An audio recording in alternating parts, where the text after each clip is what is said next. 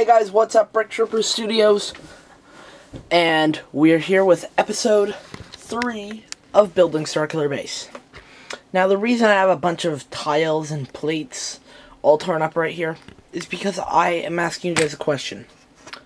Should we do this field kind of half snot, half full brick? Should we do it all full bricks?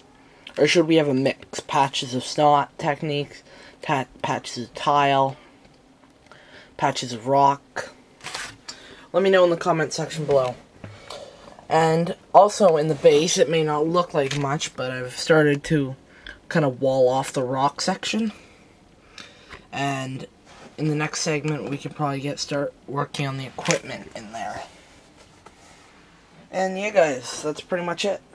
So, thank you for watching, and as always, please leave a like and subscribe. See ya!